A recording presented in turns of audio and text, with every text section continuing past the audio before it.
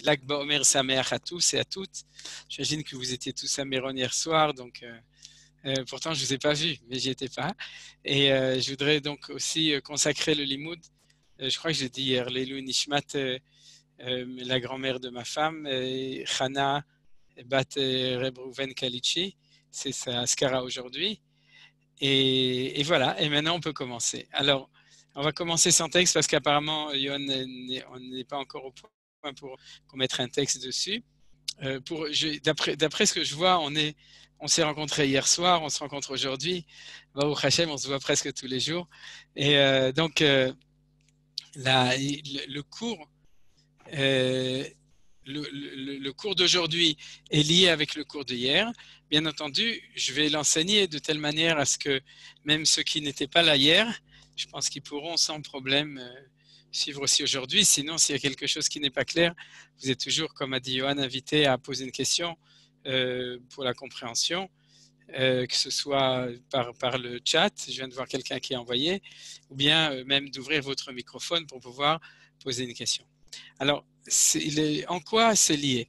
Ce qu'on a étudié hier, c'est la, on pourrait dire l'élaboration de la sagesse euh, intérieur de la Torah, on a vu hier que la définition de la Kabbalah, c'est le, le Nista.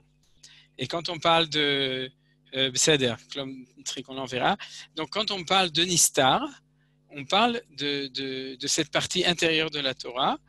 Et j'avais fait la comparaison avec le fait que Rabbi Shimon Bar Yochai a rédigé euh, le Zohar Kadosh, sans doute, avec son fils quand il était caché dans cette grotte à Pékin avec son fils pendant 12 ans, plus une année, pendant 13 ans, comme vous connaissez euh, l'histoire qui est marquée dans la Gemara de Maseret Shabbat, d'Aflamed Bet et d'Aflamed Gimel, et à propos de ça. Et, donc, euh, hier, ce qu'on a étudié, c'est on a essayé de dégager un petit peu cette, euh, cette grandeur, de, cette grandeur de, la, de, cette sagesse qui s'appelle la Kabbalah. Et je pense que ceux qui étaient là hier soir, et, j'imagine que vous pouvez aussi l'écouter en différé, pour ceux qui n'étaient pas là hier soir. Mais en tout cas, ça nous permet de comprendre cette valeur-là. Maintenant, aujourd'hui, on va parler de la révolte de Bar Kokhba.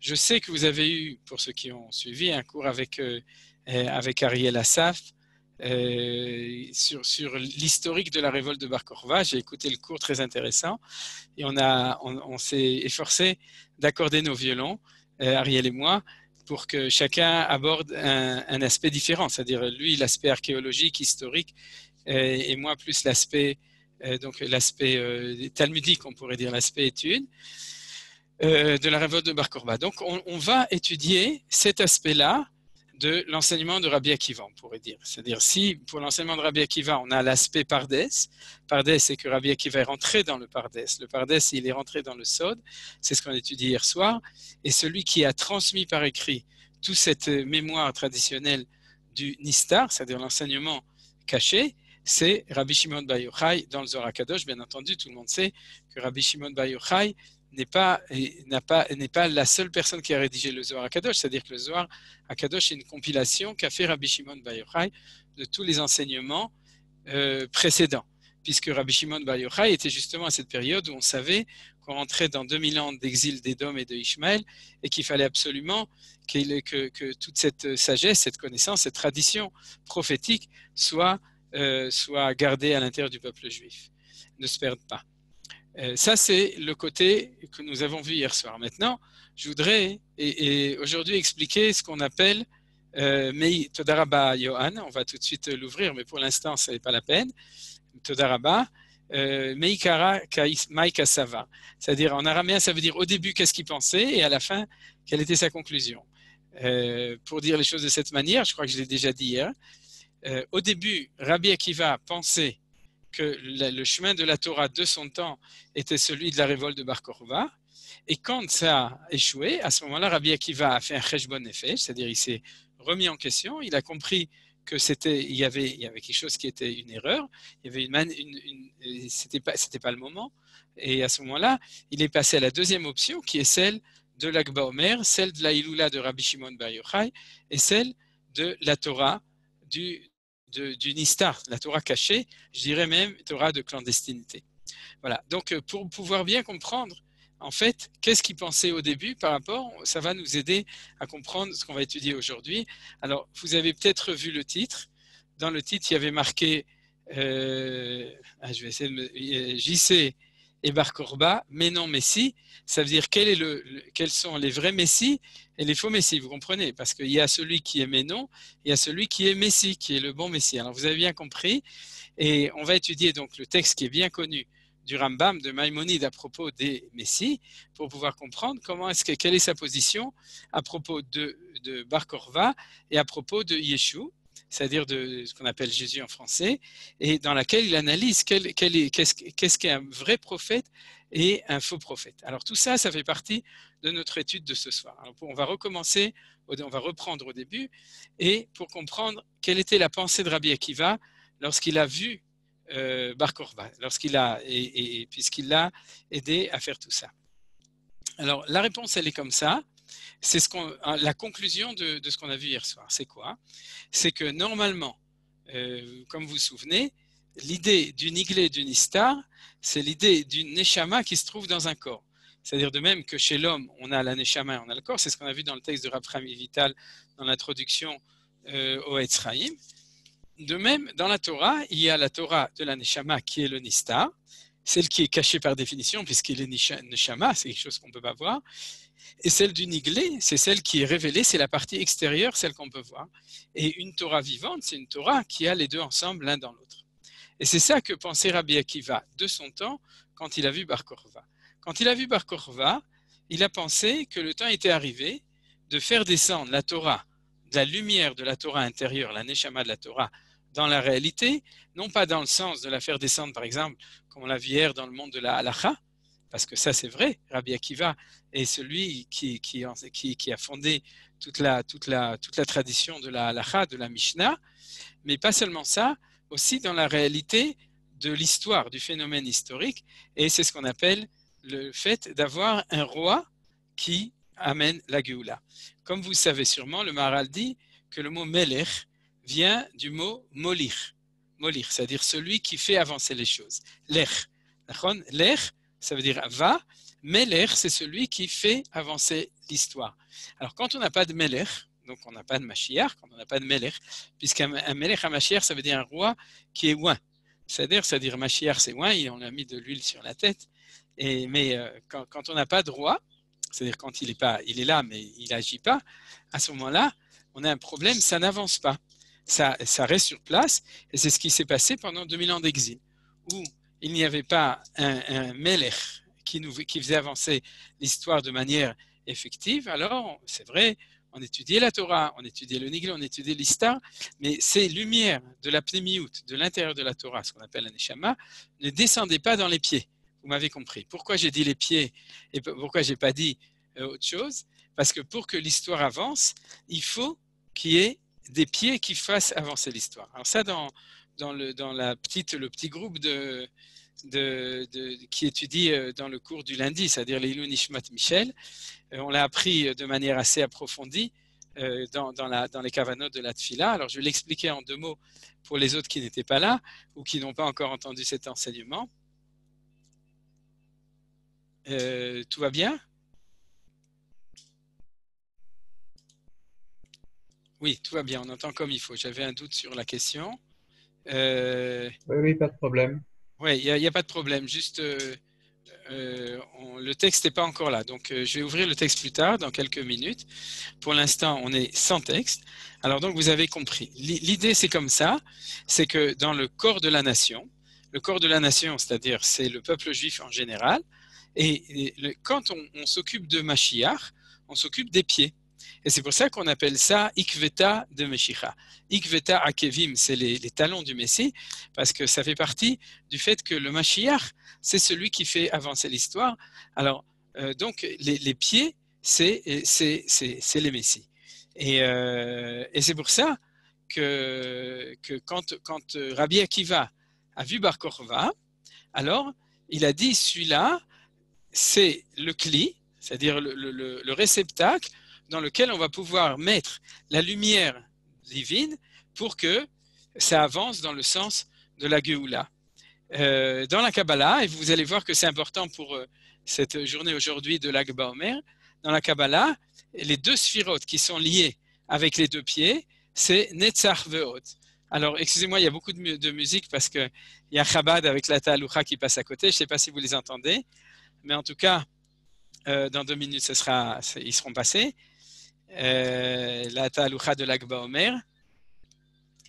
Donc, euh, Netzach Ve'od, pour ceux qui connaissent les sphirotes, et vous les reconnaissez dans la Sphirata Omer, dans les lectures du Homer, correspondent aux deux pieds. C'est-à-dire, il y a, bien, entendu, tout ça, c'est des, notions complètement spirituelles. On ne parle pas de, de pieds d'une personne. On parle de, des, des pieds, de la manière dont Hachem dirige son monde, parce que c'est grâce aux jambes et c'est grâce aux pieds que l'histoire elle avance. Donc le pied droit s'appelle Netzach, le pied gauche s'appelle Hod dans les, dans les, sphirotes. Et euh, donc, puisque, on va le voir tout à l'heure, puisque, euh, qu'est-ce que voyez Rabbi Akiva dans, dans, dans Bar Korva, il voyait un des deux pieds, c'est-à-dire il voyait un des deux messies, puisqu'il l'appelait Bar Korva, celui qui est le Mashiach. Maintenant, quel Mashiach? D'après ce que nous explique le gars de Vilna, il voyait en lui le Mashiach ben Yosef. on va le voir dans le Rambam immédiatement, c'est-à-dire c'est celui qui commence la Géoula, celui qui fait la guerre contre les Romains. Dans ce cas-là, de nos jours, c'est contre d'autres personnes. Celui qui reconquit euh, tout le... Tout le... Ah, euh, euh, à propos de Yaakov Dov, de toute façon, on ne peut pas en parler maintenant, qui a été touché à un de ses pieds, bien entendu. Et, euh, et, donc, quand il a vu Bar Korba, il a compris qu'il avait un rôle à, jouer dans cette chose-là. Alors, comment est-ce que ça s'explique? C'est ce que nous dit maintenant, on va pouvoir ouvrir le Rambam. On va étudier maintenant le Rambam. Ah non, Johan, tu ne me laisses pas l'ouvrir. Tu m'as dit qu'on pouvait l'ouvrir. Ah, Arshav. Euh, Ken. Ça marche? Oui, ça marche, merci. Todaraba. Euh, voilà. Deux minutes. Ça doit apparaître très bien. Donc, ça a apparu ici. Euh, et euh, on est ici dans les lois Rambam, Milchot Melachim ou Milchamotem, Perek Echadesre. C'est le onzième chapitre du livre des rois.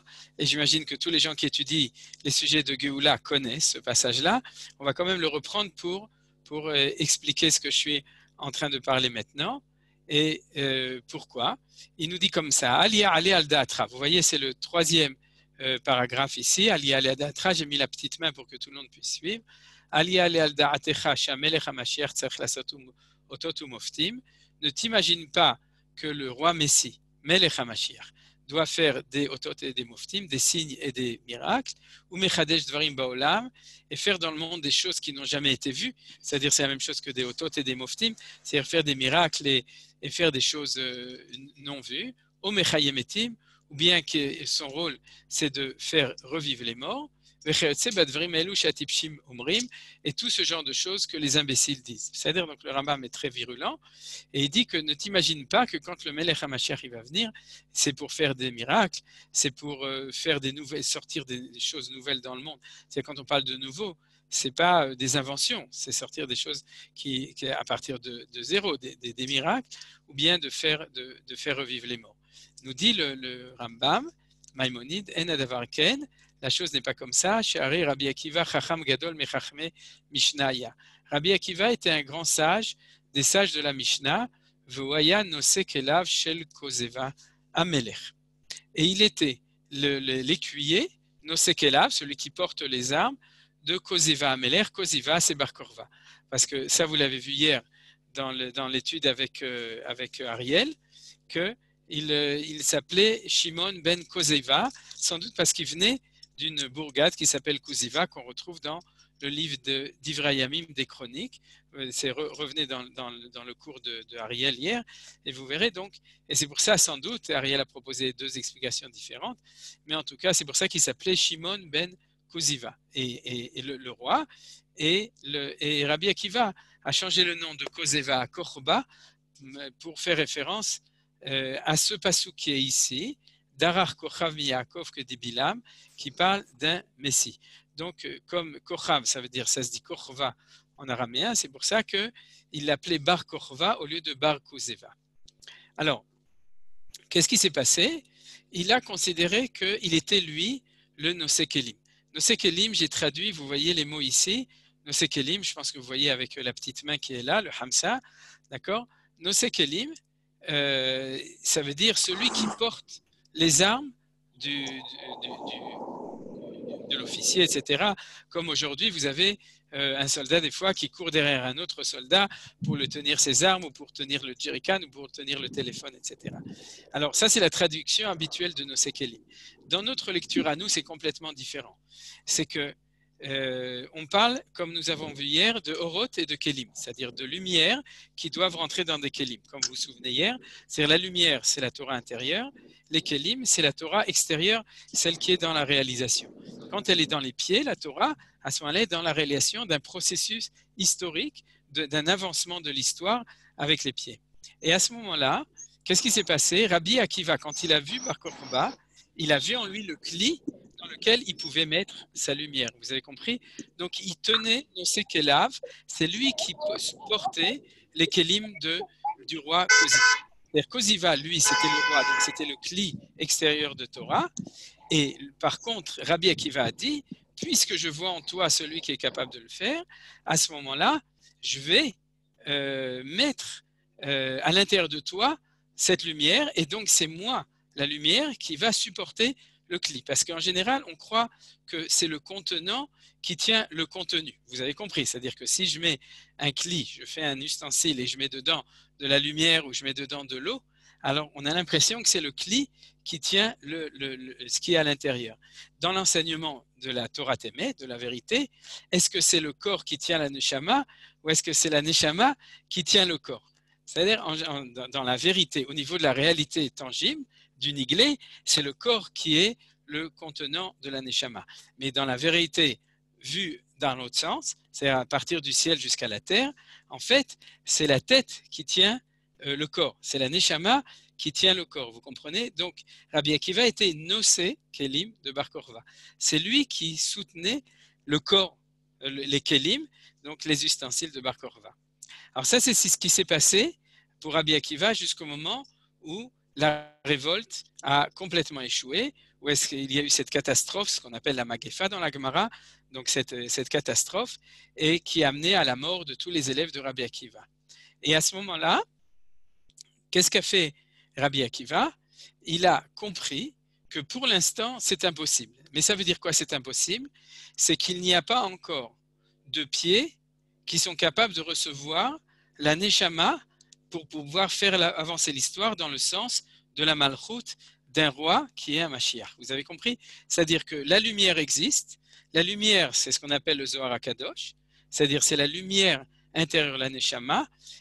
Elle peut descendre dans d'autres kelim qui s'appellent la Gemara, la Mishnah, comme on l'a vu hier, les mitzvot, le fait d'accomplir des mitzvot, les maasim tovim, les bonnes actions, et dans, dans chaque neshama d'un juif, elle peut descendre. Mais dans le processus historique général d'une Géoula, qui est faite par un Melech HaMashiach, c'est-à-dire par un roi qui peut le faire, à ce moment-là, ce roi n'existe pas pour l'instant, ou le temps n'est pas arrivé pour le faire, et si on essaye de le faire, ce qu'a essayé de faire Rabbi Akiva à ce moment-là, on arrive plutôt à une catastrophe, à un échec total et une shvichut damim. C'est ce qui s'est passé à ce moment-là avec Bar Korba.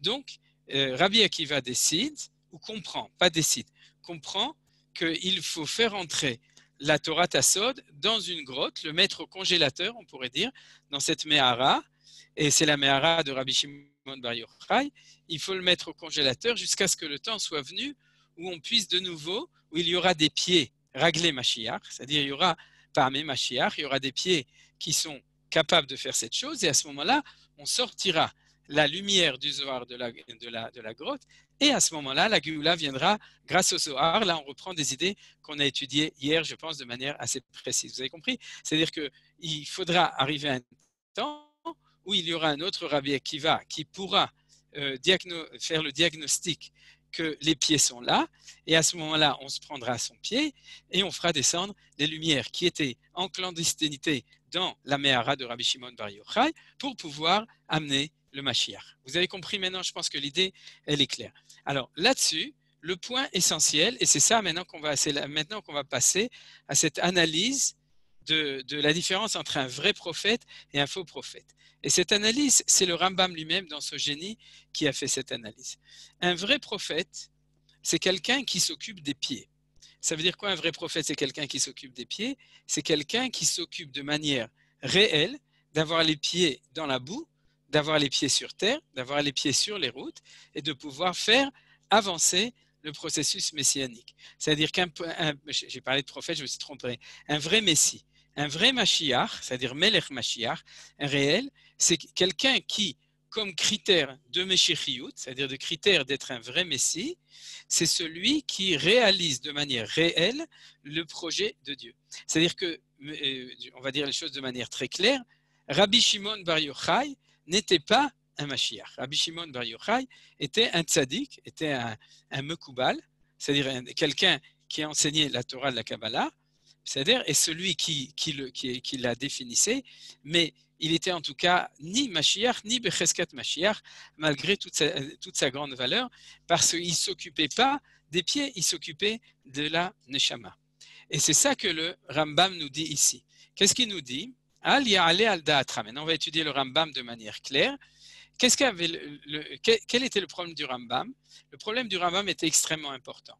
C'est que il a, il a, eu historiquement affaire, en, en tout cas avec un faux messie, au Yémen. Vous savez, euh, au Yémen est apparu un juif, un imposteur, qui a dit qu'il était le Mashiach, et il a dit aux, juifs du Yémen, suivez-moi, c'est moi le Mashiach, et les juifs du Yémen l'ont suivi, jusqu'à ce qu'un chacham du Yémen, voyant que, que cet imposteur réussissait à tromper tout le monde, a écrit une lettre depuis le Yémen jusqu'à jusqu'au Rambam. Je ne sais pas si à cette époque, à mon avis, Rambam à cette époque devait être, le Rambam devait déjà être en Égypte, pas en Espagne en lui demandant d'écrire de, une, une c'est-à-dire une, lettre aux Juifs, un épître aux Juifs du Yémen, pour, avec grâce à l'autorité du Rambam, pour les convaincre de ne pas suivre ce faux messie qui était au Yémen. Et cette lettre existe, ça s'appelle la Igeret Teiman, donc l'épître aux Yéménites.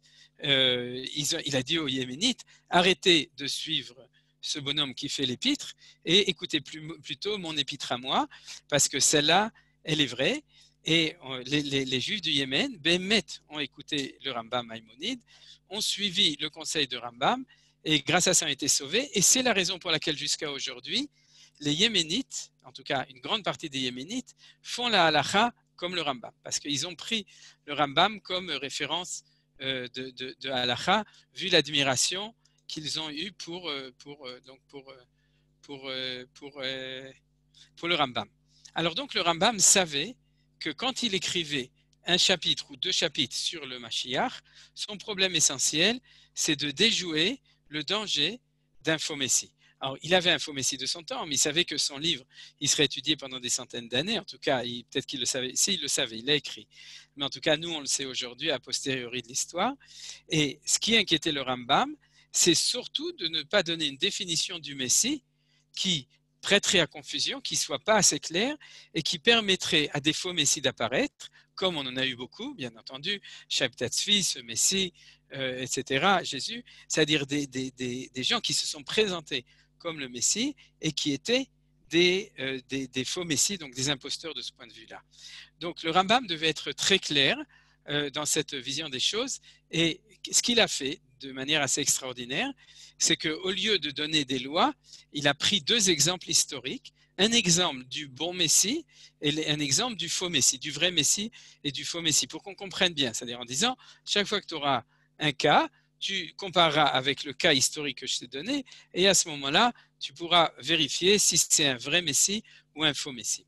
Alors, qui sont les deux exemples? Là, il y a quelque chose de très intéressant, c'est que ce Rambam, le premier exemple du vrai Messie, c'est Bar Korva, et celui de l'exemple du faux Messie, c'est Jésus. C'est les deux qu'on euh, qui, qui, ont été choisis par Rambam, par Maïmonide, pour donner un exemple historique de ce qu'est un vrai Messie ou ce qu'est un faux Messie. Bon, le Rambam était plutôt en pays musulman, donc sans doute qu'il euh, avait moins peur que dans les pays chrétiens de parler de, Jésus comme exemple Messie.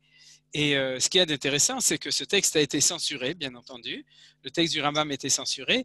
Et si vous ouvrez vos Rambam euh, que vous avez reçus à la Bar Mitzvah ou en du mariage, c'est-à-dire l'édition classique du Rambam du Mishneh Torah, vous ne trouverez pas le texte qu'on est en train d'étudier, en tout cas à partir d'un moment qu'on va voir ici. Non, ici, c'est pas marqué à partir de quel moment, mais en gros, pratiquement tout le texte qu'on va étudier ne se trouve pas dans le texte censuré. Il a fallu attendre les nouvelles éditions, par exemple celle-là que je vous ai euh, imprimée, celle du Rav Zini du Ternion, Rabbi Eliaou Zini, qui est une nouvelle édition dans laquelle on a remis tous les textes qui ont été censurés par la censure, une autocensure, une censure chrétienne dans les différentes générations. Vous imaginez bien que c'était un texte à manier avec précaution dans le temps.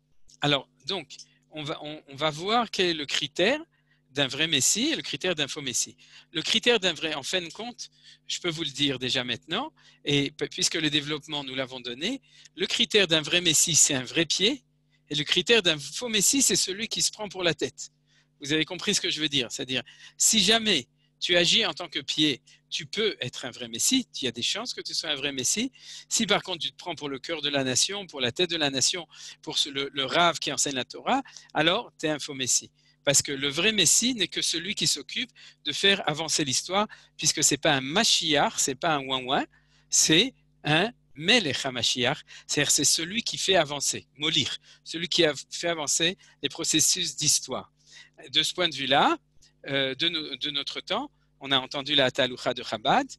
Euh, la question de savoir est-ce que le rabbi de Chabad pouvait être le Messie est une question qui est portée à, controverse, puisque d'un côté, c'est vrai que c'était un homme d'action extraordinaire, le Rav de Chabad, qui a fait avancer énormément de choses et jusqu'à aujourd'hui qui fait avancer. D'un autre côté, il n'a rempli aucune fonction officielle euh, au niveau du peuple juif de quelqu'un qui serait un Meller, c'est-à-dire il a fait avancer les choses sans remplir une fonction.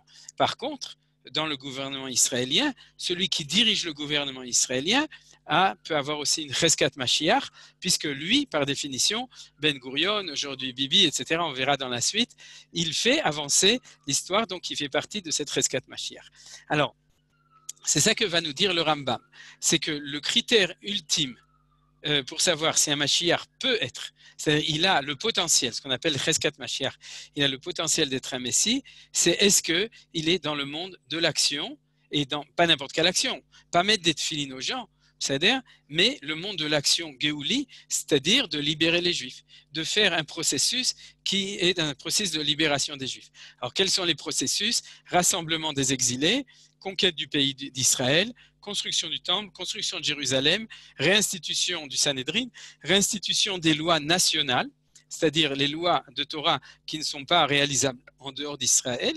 Et c'est pour ça que quand euh, le, Rambam parle du Melech, euh, du Melech HaMashiach qui fait, qui réinstitue les lois de la Torah, regardez, c'est le premier passage ici, Amelech HaMashiach, Atid la mode ou l'Arzir Malchut David le Yoshna, Amem Rishona, c'est-à-dire il ramène le gouvernement premier de Malchut David, et qu'est-ce qu'il fait? Boné Amigdash ou Mekabetz Nitre Israël. Donc son rôle c'est quoi? Même Shala, construire un État, Boné Amigdash, construire le temple qui est ce qui vient remplacer les synagogues, c'est-à-dire le Mikdash Me'at, ce qui est, le, le temple, c'est-à-dire le, centre religieux du, monde entier, mais du peuple entier. Mais Kabes Nitre Israël, rassemblement des exilés, il ramène la Torah dans son temps comme elle était avant. Donc il va dire tous les juifs ont Shabbat? Non. Qu'est-ce qu'il va dire? Makrivim korbanot on amène des korbanot, c'est-à-dire le temple, il marche, il refait marcher le temple, vosim shmitin veyovlot, et on fait la shmita et le, yovel, que chol mitzvatan, amura batora, comme toutes leurs mitzvahs qui sont marquées dans la Torah. Donc le Rambam n'a donné que deux exemples, shmita et yovel et korbanot. Vous avez compris pourquoi? C'est ce qui fait la différence entre un judaïsme d'exil et un judaïsme d'Eretz Israël au niveau de la Torah et des mitzvot. C'est-à-dire, Korbanot, c'est la religion nationale, et Shmitin et Veyovlot, c'est la justice nationale c'est la structure de, justice, c'est la parcha de Béar, ça s'explique ces choses-là. Donc, euh, pour le, euh, donc, pour le Rambam, bien entendu, je reviens, la définition d'un Mashiach, d'un Melech Mashiach, c'est celui qui agit dans l'action, mais dans l'action qui est définie dans un sens d'une Geoula, c'est-à-dire de faire sortir le peuple juif et de réinstituer les choses telles qu'elles doivent être. Alors on va lire les choses maintenant, si vous voulez, et on va voir comment est-ce qu'il parle des deux, donc du, du Mashiach du vrai Messie et du faux Messie, le Ménon et le Messie. Ali Ale al on relit depuis le début, chez que le roi Messie, Tzarich Lasot Otot ou Moftim ou Chadesh Dvarim donc les imbéciles disent qu'il fait des miracles et qu'il fait revivre les morts. Certains sont venus chez le Rambam et lui ont dit Tu veux dire que tu ne crois pas dans la résurrection des morts? Oui, c'est-à-dire le Rambam a dit Non, vous ne m'avez pas compris. Bien sûr que je crois dans la résurrection des morts, mais moi je ne m'occupe pas des prophètes, je m'occupe pas des tzadikim, je parle pas de Baba Saleh ou de Rabbi, de Rav Mordechai je m'occupe de te parler, ça il y a d'autres, il y a Mishneh Torah, il y a Ilchot Talmud Torah, il y a Ilchot Deot, il y a plein d'autres endroits. Maintenant, je te parle d'un roi. Et quand je te parle d'un roi, son rôle, c'est pas de faire des, des, des, des, miracles ou bien de refaire vivre les morts. Si Dieu décide que c'est lui qui le fait, dit Rambam, j'ai pas de problème. Mais les imbéciles, c'est ceux qui cherchent ça comme critère de messianité. Et Nadavarken, ce n'est pas le cas. Chez la preuve. Alors maintenant, on amène la preuve, c'est la preuve historique. Rabbi Akiva, Chacham Gadol Mishnaya. C'était un grand sage des sages de la Mishnah. Comme on a dit, c'est lui qui a établi tout l'enseignement oral de la Mishnah. Et sa à lui, donc lui, il était dans la tête, dans le cœur, il a décidé de soutenir le cli qui s'appelait Koziva Amelech, le roi Koziva, voyez Omer Alav, Shua HaMashiach, il disait sur lui qu'il était le Melech HaMashiach. Vedima ou Vechol Chachmedora, Doro Shua Amelech HaMashiach, Vedima. Et il a supposé, je traduis librement, hein, parce que si on dit imaginer, c'est que Rabbi Akiva s'est trompé, mais en fait, il a supposé, lui et tous les sages de sa génération, Shua Amelech HaMashiach, que le temps était arrivé de vider les Romains et de reconstruire le temple et de ramener tous les Juifs en Israël, et qu'il était le Melech HaMashiach, jusqu'à ce que cette supposition a échoué par faute de combattants, puisque à cause des fautes, les fautes, c'est ce qu'on a étudié, c'est l'onagu kavod c'est le manque de respect des, des, des, des, Israël à cette époque l'un par rapport à l'autre, a fait donc qu'à cause de cette faute, chez Néerag, il a été tué, mais il n'y a pas que lui qui a été tué, c'est que cette, cette, ce processus messianique, on ne va plus parler d'une révolte parce que c'est un terme qui est laïque, on va parler du terme du Rambam, c'est-à-dire ce processus messianique a été euh, tué, assassiné, tué à cause de fautes, c'est-à-dire d'un manquement de, de, préparation, le temps n'était pas prêt.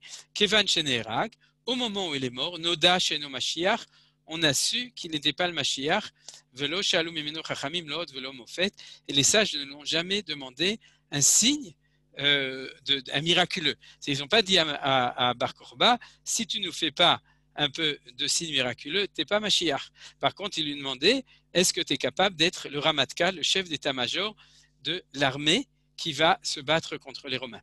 Hier, vous avez entendu que, les Romains ont amené 12 de leurs 28 légions qu'ils avaient dans le monde pour se battre contre Bar et, et ses soldats. Vous imaginez ce que ça veut dire Ça veut dire que ce qu'on voit aujourd'hui sur la Gvoura du peuple juif, c'était ce qui se passait à l'époque à l'époque de, de, de, Bar Korba, cette bravoure extraordinaire, puisqu'il a fallu qu'il amène du monde entier, de tout l'Empire romain, pratiquement la moitié de son armée pour pouvoir réussir à vaincre Bar Korba.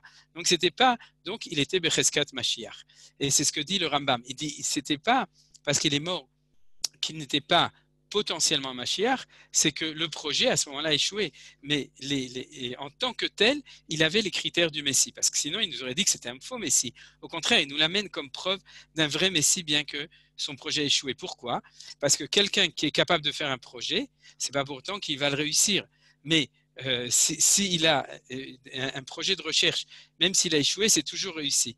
Parce qu'il a prouvé que ce n'était pas de cette manière, alors on va chercher une autre manière. Mais on ne va pas lui dire tu n'es pas capable de faire un projet. On va juste lui dire maintenant, essayons une autre manière de le faire ou attendons que les conditions historiques permettent de le faire. C'est ce qui se passe dans notre étude. Voici l'essentiel. Que les lois de la Torah, c'est-à-dire l'ordre des choses, ne se changent jamais et pour être un Messie, on ne rajoute pas et on n'enlève pas. On ne fait pas de réforme religieuse quand on est Messie. Et tout celui qui, en tant que Messie, a rajouté ou a enlevé des lois de la Torah, ou celui qui a dit que, les, euh, comme interprétation de la Torah, a dit que les enseignements de la Torah ne sont pas le pshat, c'est-à-dire ils ne sont que symboliques. C'est-à-dire tout est symbole, symbole sauvez-nous. La terre d'Israël, c'est symbolique. Le peuple juif, c'est symbolique. Les mitzvot, c'est symbolique. À ce moment-là, Arez et Bevadai, Racha, Vapikores, celui-là en tant que Messie est sans aucun doute un Racha, un mécréant, Van c'est-à-dire un épicurien, pas un épicurien dans le sens philosophique, mais dans le sens de Chachamim, c'est-à-dire que c'est un renégat, c'est quelqu'un qui n'est pas non seulement il n'est pas Messie, mais c'est un faux Messie, c'est plus grave. Si on n'est pas Messie, c'est pas grave, on est tous pas Messie. Mais, euh, mais d'être un faux Messie, c'est quelqu'un qui agit dans l'autre sens. David. Donc revenons à Bar Korba. Si se lèvera un roi de Bet David dans le futur, en référence avec Bar Korva, Ogeba Torah Vosek mitzvot que David Aviv, qui étudie la Torah et fait les mitzvot comme David son père, que fit Torah Shebirta Veshebealpe, Veyachov Kol Israël Elechba Chazek Bitka, et il va euh, influencer ou imposer à tout Israël d'aller dans la Torah et de renforcer euh, les brèches qu'il y a dans la Torah. Tout ça, c'est ce qui fait que les juifs orthodoxes reprochent au sionisme de ne pas être un processus messianique. On pourrait l'expliquer, mais ce n'est pas notre sujet aujourd'hui. Hashem, euh, il va se battre les, guerres de Hashem, c'est-à-dire que le point important ici, c'est qu'il fait les guerres de Dieu. Alors, c'est quoi Milchamot Hashem? Milchamot Hashem, on l'a vu, c'est qu'il se bat pour ramener les Juifs en Israël, il se bat pour conquérir le pays, il se bat pour protéger les Juifs, il se bat pour guérir les Juifs, il se bat en Israël, hein, je parle de ceux qui sont en Israël, il se bat pour reconquérir Jérusalem, reconquérir l'esplanade du Temple et reconstruire le Temple et ramener les Juifs à la Torah et réinstituer une Torah nationale. Alors celui qui fait au moins une partie des projets, il est Becheskat Mashiach. Ce qu'on reproche n'est pas un reproche. Pourquoi? Parce que quand on a vu que le programme des pieds, c'est un programme qui est long, si tu fais une partie du programme, tu es déjà Cheskat Mashiach. C'est-à-dire, on va voir tout de suite avec Jésus pourquoi lui ne l'est pas. Mais on ne te demande pas de faire tout le programme. C'est-à-dire, si jamais le sionisme s'occupe du programme matériel et qu'il ne s'occupe pas encore du programme spirituel, c'est pas grave, d'autant plus, d'autant plus que d'après l'enseignement du Gaon de Vilna, de Rav de Manitou, il y a deux pieds. Et pourquoi il y a deux pieds? Parce qu'il y a le Mashiach ben Yosef et Mashiach ben David. Le Mashiach ben Yosef, lui, s'occupe de la construction matérielle et le Mashiach ben David s'occupe de ce qu'on voit ici, au Torah, au Segbe Mitzvot, et, euh, ramène tous les Juifs à la Torah. Tout ça, c'est le rôle du Mashiach ben David qui viendra avec l'autre. Parce que pour que l'histoire avance véritablement, quelqu'un a parlé de la blessure de, de Yaakov Avinu. Euh, Yaakov était, était euh, il était, euh, comment on appelle ça en français? Nous, quelqu'un m'aidera Boiteux. Boiteux, je voulais le dire en même temps. Todaraba, Todaraba. Il était boiteux, c'est-à-dire qu'il y avait quelque chose qui marchait pas très bien au niveau de sa possibilité de Géoula. Mais en tout cas, dans le projet euh, final, il faut deux pieds. Un pied qui s'occupe d'établir réellement la religion, c'est-à-dire quand on parle de religion, le temple, les corbanotes, etc. Et de l'autre côté, réellement la, vie nationale. Et ça, c'est ma chère Ben Yosef. Donc, qu'est-ce qu'a vu euh, le, Rambam? Non, pas Rambam, Rabbi Akiva dans Bar Korva, il a vu quelqu'un qui était Nilcham Ilchamot Hashem. C'était celui qui avait ce projet-là. Alors donc, il était Becheskat Mashiach. Alors maintenant, on vient à la question comment c'est possible que tu dis qu'il est Mashiach alors qu'il y a eu un échec? Im Si jamais il a fait, il a réussi, il a vaincu toutes les nations qui sont autour de lui, ou Bana Migdash, il a construit le temple Bimkomo, à son endroit, pas autre part pas à Emmanuel Temple à, New York, avec Nitre Israël. Il a rassemblé tous les juifs il a fait le rassemblement des exilés à Rezé, Mashiach, Bevadai. Ça veut dire quoi? Ça veut dire que les Milchamot Hashem dont on parle ici, les guerres, c'est pas les guerres spirituelles, c'est à c'est des guerres réelles. C'est quoi? Ces guerres réelles C'est construire le temple, rassembler les juifs et réussir à monter une armée qui s'appelle Tzva Hagan al-Israël, qui va réussir à vaincre les nations qui sont autour. Vous avez compris, le projet du le, programme du Mashiach, en tant que Cheska, c'est celui qui essaye de le faire même s'il ne réussit pas, mais au moins il s'occupe de ça. C'est ça un Cheskat Mashiach. C'est-à-dire qu'il agit dans le sens, même s'il peut y avoir échec comme dans le cas de Bar Korva. Par contre, le vrai Mashiach, c'est celui qui agit dans le même sens et réussit. Maintenant, on passe au suivant. Non, on est toujours dedans. Tout ça, c'est la partie censurée. S'il n'a pas réussi au Irak, c'est la même chose, c'est-à-dire qu'il peut y avoir échec parce que le projet, il reste vivant, mais le projet n'a pas marché cette fois-ci, ça arrive, ou bien parce que faute de combattant, il est mort, donc il ne peut plus continuer son projet, alors on, on sait que ce n'est pas celui, c'est-à-dire le Mashiach, Vadaï, que la Torah a promis, puisque sinon il ne serait pas mort, ou sinon il n'aurait pas échoué. Et il fait partie de tous les rois qui sont morts. Comme vous savez, David est mort, Shlomo est mort, Chizkiyahu est mort, etc. C'est-à-dire qu'ils ont fait ce qu'ils avaient à faire, ils ont fait avancer le Shmilblik, mais Bassof, ils n'ont pas, ils pas amené au, à la fin messianique. Donc c'est ça qu'il dit sur Bar Korba. Bar Korba était un Melech Kacher, qui a fait avancer ce qu'il a fait avancer. Peut-être qu'il a échoué, mais il faisait partie.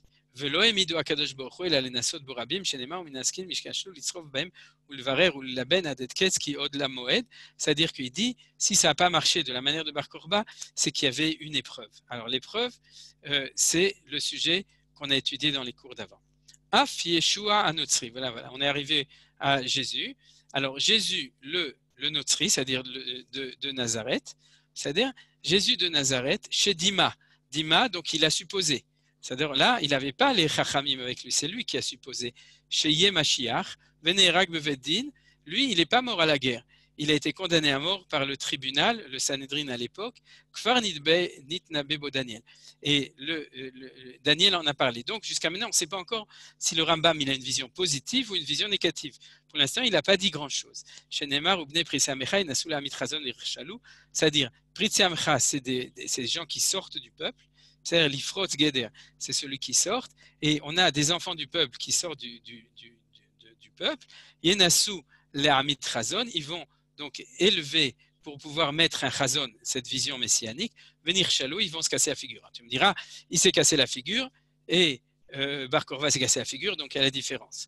Alors c'est là qu'on va voir la clé du Rambam. gadol Quel est le plus euh, Est-ce que Jésus n'est pas le plus grand échec au niveau messianique, c'est-à-dire pour dire que c'est un faux messie Chez Kol Anevim Dibrou, parce que quelle était la parole des prophètes sur le Messie? Chez Mashiach, Goël Israël ou Moshiam. Le rôle du Mashiach, c'est quoi? Du Melech HaMashiach C'est Goël Israël. Goël Israël, c'est rassemble les Juifs en Eretz Israël. Non, c'est-à-dire il les libère. Moshiam, il est, disons, Goël, c'est les ramener en Israël. Moshiam, c'est les, les, les sauver en Israël de toutes les catastrophes, que ce soit une guerre vis-à-vis de l'extérieur ou que ce soit une magefa comme on a aujourd'hui. Ou Mekabetz Nitrem il rassemble les exilés, ou mechazek mitzvotam, et il renforce les mitzvot, et il dit, si tu me dis que c'est ça les critères du Mashiach, c'est ce qu'on a vu avant. C'est la raison pour laquelle Bar Korva était Becheskat Mashiach, parce qu'il s'est occupé de Geulat Israël, de Yeshuat Israël, de Kibbutz Nitrehem, Mechazek Mitzvotam, dans le sens où il a reconquis Jérusalem et il a recommencé à faire des sacrifices au temple. Excuse-moi. Oui. Excuse-moi. Est-ce que Bar Korva est de la descendance du roi David? Non, parce qu'il était Machir Ben Yosef. Il y a pas de, on n'a pas de connaissance sur cette question pour autant que je sache. Il faut demander à Ariel, à Saf, mais euh, il n'y a pas de. Dans tous les textes, justement, ça fait partie des choses que euh, nous dit le Rambam qu'ils n'ont pas vérifiées. On n'avait pas besoin de vérifier. Bibi est descendant du roi David, vous savez, et, aussi le Nassi, le président euh, Rivlin, parce qu'ils sont tous les deux descendants du, des, descendants du de Vilna qui sont descendants du roi David. Bon, mais ça, c'est une autre histoire. En tout cas, pour Bar Korva, euh, ça n'a pas été vérifié. Pourquoi? Parce que s'il fait partie des Meshichim de, de, de Ben Yosef, il n'a pas besoin d'être descendant de Beth David. Il n'y a que le Machir Ben David qui doit descendre de Beth David. Vezé Garam, alors on est sur celui-là, celui-là c'est Yeshua Notri. Garam, quel était, le résultat de son action extraordinaire, entre guillemets? Les Abed Israël Bacherev, que les Juifs sont morts par le glaive, les Fazer chez Eritam, que ceux qui restaient encore ont été encore plus dispersés, ou les Ashpilam, et de les, euh, les abaisser. Ou la Khlifa Torah, et de remplacer la Torah par une autre Torah, ou la Atot Olam, et de, et de tromper la plupart du monde, la Avod Eloham, Ibalade Hashem, de servir un autre Dieu que Hashem. On parle donc de lui-même, puisque les chrétiens se prosternent devant Jésus et le considèrent comme lui-même étant une divinité. Donc, il dit, qu'est-ce qu'on voit là?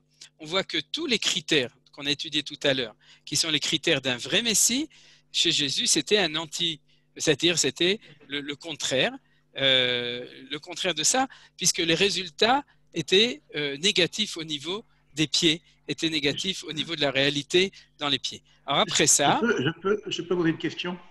Euh, si, si elle est... Oui, oui, elle est, elle est là. D'accord. Tout, ce que tu, tout ce que tu donnes là, euh, c'est pratiquement ce qui se passe avec l'Église. Bien après, quoi, bien après l'événement de, de, Jésus. Parce que donc, on n'a pas vraiment connaissance de ce qui s'est passé à cette époque. Euh, précise de Jésus. Tout ce qu'on parle là, c'est par rapport à l'Église. C'est une euh, vision de Jésus par rapport à l'Église, par rapport aux conséquences de l'Église. Qui c'est? C'est Léo? C'est Élie, c'est Léo. Élie, Élie. Ok, c'est-à-dire, je ne te vois pas, donc je ne vois pas que c'était toi, je croyais que c'était quelqu'un d'autre. C'est-à-dire, Shalom, Élie. Euh, Tishma, d'après la tradition juive, c'est-à-dire d'après les textes de la Gemara, le Rambam parlait de, de Jésus lui-même. C'est-à-dire, et bien entendu, au niveau des conséquences, euh, il, a une, vision des conséquences de 1000 ans de christianisme. Il n'a pas une vision de conséquences de, de, 50 ans ou d'un contemporain de Jésus. Mais pour lui, c'est quand même lui qui a, qui a donné, qui a établi a priori toutes ces idées, et c'est lui qui l'a fait. Alors je vais l'expliquer un petit peu mieux pour répondre à ta question. On va pas lire la suite parce qu'on n'a pas le temps. La, suite du Rambam est très importante. C'est là où il explique en quoi, malgré tout, euh, Jésus et Mohammed ont un rôle à remplir dans la diffusion du message hébraïque dans les nations, malgré euh, les, déboires et malgré les méandres de l'histoire et les souffrances du peuple juif à cause de ça. Mais il est quand même positif, et ça, c'est ce que vous lirez dans la suite du texte pour ceux qui veulent que je lui envoie. Alors, vous m'envoyez votre téléphone et je vous enverrai aussi ce texte-là. Mais non, c'est pas notre étude maintenant. Parce Pardon Est-ce que le roi Shlomo remplissait pas les trois conditions? Euh, oui, mais euh, le roi Shlomo a fait beaucoup d'erreurs. C'est pour ça qu'a priori, il se prenait pour Mashiach ben David, puisque c'était le fils de David Ameler. C'est un sujet à étudier en lui-même. Il, pensait qu'il était euh, le Messie, mais ça n'a pas marché parce qu'il a fait plein d'erreurs. Et donc, ça a échoué. Il n'est pas mort, mais ça a échoué. on pourrait dire aussi, comme le dirait le, Rav Kook, que le temps n'était pas encore venu pour que, ça puisse être possible. Donc c'était un pied, mais qui n'était pas encore, qui était encore pas, assez ferme, on pourrait dire, pour que ce soit possible. Alors, si vous voulez, on va, on va clore cette partie-là, on va étudier encore un tout petit texte ultérieurement, mais je pense que l'idée était extrêmement importante, c'est-à-dire maintenant, je vais reprendre le, le, processus historique. Rabbi Akiva voit en Bar un vrai Messie et il ne voit pas en lui-même un vrai Messie. C'est-à-dire que Rabbi Akiva n'était pas le Messie. C'était Bar Korba qui était le Messie parce que c'était le pied droit, gauche, excusez-moi, celui qui s'appelait Hod, c'est-à-dire le Macher Ben Yosef, et qui s'appelait Asa Vetzliach. C'est-à-dire que le critère, c'était il fait et il réussissait. Tant qu'il réussissait, il était, mais il devait faire, il devait être dans l'action, comme Yosef, parce que cette expression Asa Vetzliach, on apprend de Yosef, Kol Asher Hashem Matzliach Biado tout ce qu'il fait, Dieu fait qu'il réussisse. C'est ça le critère du Macher Ben Yosef, c'est celui qui est dans l'action réelle, matérielle, et qui réussit. Macher Ben David aussi réussit, il s'occupe de choses réelles, mais plus spirituelles. Alors maintenant, donc, euh, ben, Rabbi Akiva voyait ça. Quand il a vu que ça a échoué, il a compris qu'il fallait passer dans la grotte. Et maintenant, dans mon analyse, je voudrais dire les choses de cette manière. C'est un petit peu une, reprise de la question de, de. C'est pas par hasard que Jésus et contemporain plus ou moins de Bar Je dis plus ou moins parce qu'il il était quelques, on pourrait dire 100 ans avant, mais c'est pas par hasard parce que c'est un temps. C'est un temps où on, pressent que s'il n'y a pas la place pour les pieds, alors il faut se mettre dans une grotte et il faut élever la Torah à un niveau de spiritualité, de mystique, d'une de, Torah qui est extrêmement haute. Et en fin de compte, je voudrais dire les choses de cette manière. C'est que Jésus n'est pas une antithèse de Bar Korba dans le sens d'une autre personne qui aurait été dans l'action mais qui aurait échoué, il est plutôt une antithèse de, de, Rabbi Shimon Bar Yochai dans le sens de quelqu'un qui aurait détaché la Torah de sa réalité tangible, d'une réalité réelle, pour la mettre dans une espèce de nouveau d'une grotte, d'une spiritualité absolue, dans lequel on parle de Dieu, on parle d'amour, on a vu tous ces termes dans Manitou, etc on parle d'union, etc., mais on se détache totalement de la réalité. C'est-à-dire que c'était intrinsèque à la réalité du Khurban et de l'échec de Bar Korva que d'un côté, il permettait l'option Rabbi Shimon Bar Yochai, qui est celle dans laquelle a investi Rabbi Akiva quand ses élèves, les 24 000 élèves sont morts et qu'il est passé à 5 élèves, donc à une, une, autre manière d'être. Mais ça, c'est le côté du Tov, c'est le côté de, de la Kedusha, mais il invitait en lui-même le côté du faux Messie. J'espère que vous avez compris l'idée que j'ai dit. Puisque à partir de ce moment-là, notre option à nous, c'était c'était l'option d'une Torah spirituelle qui, au niveau national, était détachée d'une Torah réelle, puisqu'il n'y avait pas de cli dans lequel on pouvait faire un osekelim, c'est-à-dire mettre cette neshama, mais qui risquait d'être transformée en Torah spirituelle qui déclarait qu'elle devait être séparée de la réalité définitivement dans la volonté du Créateur, ça c'est le christianisme. Et à ce moment-là, on arrive à l'erreur de prendre un rabbin pour un messie. Vous comprenez? C'est-à-dire quelqu'un qui a une grande barbe et qui s'occupe de spiritualité et qui rentre dans sa grotte, on va dire c'est lui le messie. Qu'est-ce qu'on a fait? On a coupé le mot Melech HaMashiach, on a enlevé le roi, on a mis que du messie. On s'occupe plus des pieds, on s'occupe de l'aneshama. Et c'est un danger qui était inhérent à cette époque. C'est-à-dire c'est pour ça qu'on peut comprendre pourquoi les choses sont arrivées de cette manière-là. Alors quelle est la réponse? Le fond. Vous comprenez La réponse de Bar Korba, c'est une réponse très claire. Vous êtes dans l'erreur totale puisque vous occupez pas du Maasé. Mais quand on a Rajbi en face de Jésus, je dirais les choses de cette manière-là, comment répondre? Eh bien, c'est très clair. Est-ce que ta Torah spirituelle, c'est une Torah spirituelle qui étudie la Torah de la Géoula, c'est-à-dire, c'est une Torah qui, dans sa spiritualité, s'occupe quand est-ce qu'on va refaire descendre la lumière dans les pieds, ou c'est une Torah qui s'occupe plus des pieds, qui s'occupe que de la tête, ou que du cœur, ou que, ou que de la spiritualité. Pendant 2000 ans, la Torah de Rashbi, c'était une Torah, quand on l'étudiait, quand on étudiait le Zohar, on étudiait un enseignement, et je peux le témoigner en tant que quelqu'un qui a un petit peu étudié la Kabbalah, du Etzreim, du Harizal, etc., un peu moins le Zohar, mais en tout cas, le, Harizal, c'est que des commentaires du, du, du, Zohar Kadosh. C'est-à-dire qu'il ne s'occupe que d'expliquer qu'est-ce que c'est la galoute, quand est-ce que la Géoula va venir, de quelle manière elle peut venir, comment Dieu dirige son monde, qu'est-ce que c'est le Esther Panim, le Gilouy Panim, comment est-ce qu'on fait pour passer d'un endroit à l'autre?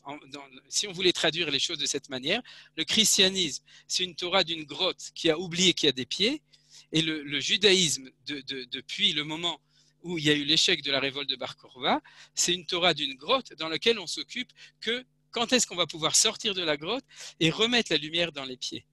J'espère que vous avez compris cet enseignement essentiel. Donc, si on a un Zohar qui oublie qu'il y a des pieds, c'est-à-dire quelqu'un qui étudie le Zohar, c'était une des questions hier, c'est-à-dire euh, il ne faut pas aller chez des rabbins qui enseignent un Zohar dans lequel il n'y a pas de pieds, parce qu'à ce moment-là, vous êtes en danger d'une nouvelle religion qui est détachée de la vraie Géoula. Le, le Zohar tel qu'il doit être lu, ou la Kabbalah telle qu'elle doit être lue, elle doit être lu de manière permanente comme l'enseignement de quand est-ce qu'on va pouvoir remettre la lumière de l'aneshama dans un corps national, c'est-à-dire qu'elle va descendre depuis la tête jusqu'aux pieds et qu'elle va pouvoir commencer à remarcher sur Terre et de faire avancer l'histoire. Alors j'espère que vous avez très bien compris, vous avez bien compris cet enseignement-là. Merci Brigitte du sourire, ça prouve que tu as bien compris ou bien accepté en tout cas. Vous avez compris l'intégration de toutes les valeurs qu'on a vues jusqu'à aujourd'hui. Alors avec votre permission, donc, un deuxième texte avant de terminer et qui va bien nous faire comprendre cette idée-là. Ce texte-là, c'est un texte que vous connaissez aussi parce que euh, tous les élèves de Manitou ou de Rav Tsiouda l'ont toujours étudié ce texte-là. C'est un texte euh, de, de, Kook quand il s'est adressé au, à Rav Kook le père, Avram et Yitzhak Kook, bien qu'il il, est mort il y a 85 ans, il a écrit une lettre au Bnei Akiva, c'est-à-dire aux élèves de. c'était, sans doute un, congrès du Bnei Akiva, euh, et à ce moment-là, les, les, les, gens du Bnei Akiva ont demandé à Rav Kook, Avram Yitzhak à Cohen Cook d'écrire, de leur écrire quelque chose, et regardez ce qu'il leur a écrit ici. C'est-à-dire, il, il, leur a dit comme ça euh, Vous êtes les élèves de Rabbi Akiva, parce que Rabbi Akiva, je vous dis par oral en vitesse, a enseigné trois valeurs deux valeurs d'enseignement de la Torah, d'établir toute la Torah orale et de se battre pour l'enseignement de la Torah, comme vous savez, en tant que martyr, parce qu'il enseignait la Torah. Il dit la troisième valeur, c'est de s'occuper de Geoula, Tzmichat Yeshua. Je, traduis ici, Liot lanu le orolam. Rabbi Akiva pour qu'on soit une lumière éternelle. Itla avut c'est-à-dire l'idéal, on pourrait dire, l'enthousiasme et le dévouement, les chazek kol chazon shel Geoula, pour renforcer toute vision de Geoula ou techia de résurrection, l'Israël de Israël, Varzo et de sa terre. Et Dafka, parce que cette vision, en son temps, a échoué, c'est-à-dire à l'époque de Bar Korva et de Rabbi Akiva, où Bar Korva nafal, et Bar Korva est tombé. Veimo nafal Israël. Et à ce moment-là, Israël entier est tombé, ce qu'on a vu dans les textes de, Manitou, Bifrinat Reruto Aleumit, dans sa dimension de liberté nationale, Betuchimanu. Nous sommes sûrs Torah temet asher kadosh là que la Torah véritable de Rabbi Akiva, qui était dit par cette bouche sainte de Rabbi Akiva, là son temps va arriver. Kolator, vous voyez, il y a des, allusions. Tor, ça veut dire l'an 600, c'est-à-dire son temps va arriver. Va Tor azé olechuba, nous dit Rav ce Tor-là, c'est-à-dire ce temps-là, cette époque, olechuba est en train d'arriver. Velot takum paramaim tsara. Et euh, le même échec n'arrive pas deux fois. C'est-à-dire, la première fois, on s'est trompé, on a compris. La deuxième fois, on n'essaye pas tant qu'on n'est pas sûr qu'on peut le faire redescendre dans les pieds. Velo lechinam, lacham Israël milchemet kimo venitzro, ador acharon ve'ad. Et on ne peut pas dire que cette guerre de Bar Korva, c'était du gâchis, c'était une erreur. C'était pas Bechinam, parce que c'était l'exemple d'un vrai Messie, comme nous a dit euh, le, Rambam, pour nous permettre, au temps où ça va venir, de ne pas se euh, planter et au contraire de se replanter dans la terre d'Israël et de comprendre que cet exemple, même s'il y a eu échec, ce n'était pas un échec dans le sens où il nous a servi de référence pour euh, pour cette, ce qu'on appelle l'Acham Israël Milchemet Kiyumo, pour cette guerre d'existence, pas de subsistance, mais d'existence, Venitzro et la victoire Ador Acharon jusqu'à la dernière génération, va de Bichlal, inclus, c'est-à-dire c'est notre génération à nous. Le Chuachim Ubanim, il reprend l'hymne du Bnei Akiva. Comme vous savez, Nachon, euh, Yad Achim Lachem Shelucha, allez mes frères et Banim et mes enfants, Chavivim qui sont tellement chers par cette force-là. Hashem Goel Israël, par cette force de Dieu qui amène la Géoula. Al Yirach Levafrem, que votre cœur ne soit pas affaibli. Al Tartsu, ne, ne vous n'êtes pas impressionné. Mikol Kolot Shel Tzvachot Vekal Gassim, de toutes ces voix de Tzvachot, de ces cris, je dirais, euh, la, la, je dirais la, comment s'appelle, les moyens de communication, Vekal Gassim. Alors là, il y a un jeu de mots extraordinaire du Rav Kook. Un Kalgas, c'était les soldats romains. Je ne sais pas si vous savez, mais en latin, sans doute, c'était le nom des, soldats romains qui, ont vaincu. Donc, euh, ils appelaient des calgassim. Mais le Rav Kook a coupé le mot en deux et il a dit n'écoute pas ceux gens qui sont cals, frivoles, légers, gassim et qui sont grossiers. C'est-à-dire, n'écoute pas ces voix qui reprennent la voix romaine la voix romaine dans les deux sens, hein, la voix et la voix, et qui sont en fin de compte, qui nous font peur avec des voix de Kalgassim, mais qui ne sont en fin de compte que des grossiers personnages qui sont légers, qui n'ont pas de poids. Hachem imanu, Hachem est avec nous, ou Vishmo vetorato nidgol et avec, en son nom et avec sa Torah, Nidgol, nous mettrons un drapeau, et nous allons réussir à vaincre, les Kirvat Geuleten ou Ptut Nafshenu, pour ramener notre Geula et la liberté de notre, et la libération de notre Nefesh, Beishat sur Israël, nous les Ade Ad Amo, Betson Marito, je ne traduis pas, c'est extraordinaire. Bebirkat Chaim Shalom Chedvat Ruach Vekosh Tsela, Neman Avatrem, Avram, Yitzhak, Akohen Kouk. Ça a paru dans Zraim Shanalef, le journal du Ben Akiva première année. Choveret Alef, première brochure. Donc c'était sans doute qu'on lui a demandé pour mettre une Ashgacha ou une Bracha dans la première brochure de Zraim. Tavresh Tzadik Zain, 1937. Euh, ça a apparu en 1900, c'est un petit peu bizarre. C'est-à-dire que, ah non, c'est juste l'année sans doute ou le Rav Kook. Non, c'était un peu après qu'il soit mort, donc sans doute qu'il a écrit avant, et c'est apparu à cet endroit-là. Voilà, on peut tous remettre en se voir tous ensemble. Euh, tu disais tout à l'heure que Maïmonide a dit qu'il y avait quand même un apport de la part de Jésus et de Mohamed. Alors, qu'est-ce qu'ils ont apporté, d'après Maïmonide? Alors, alors, alors, je t'invite à le lire parce que il y a, nous, ce qu'on a étudié, c'est Torah d'Israël ce soir. Hmm. La Torah d'Israël vis-à-vis des nations, c'est ça le rôle qu'ils ont rempli. C'est-à-dire, par rapport à nous, c'était la plus grande catastrophe de l'histoire. On le sait, on l'a payé par des millions de morts. C'est-à-dire dans toute l'histoire, 2000 ans d'histoire. Mais par rapport à la, à la euh, Dafka, je veux bien, Johan, que tu mettes toutes les, tu remettes tous les gens pour qu'on se voit, puisqu'on a fini de, on a fini de, regarder les textes. Je ne sais pas si Johan il, il m'entend, mais, mais ça aide. En tout cas, nous on l'a fait.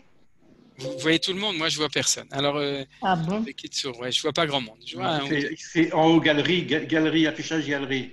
Allez, top, Besséder.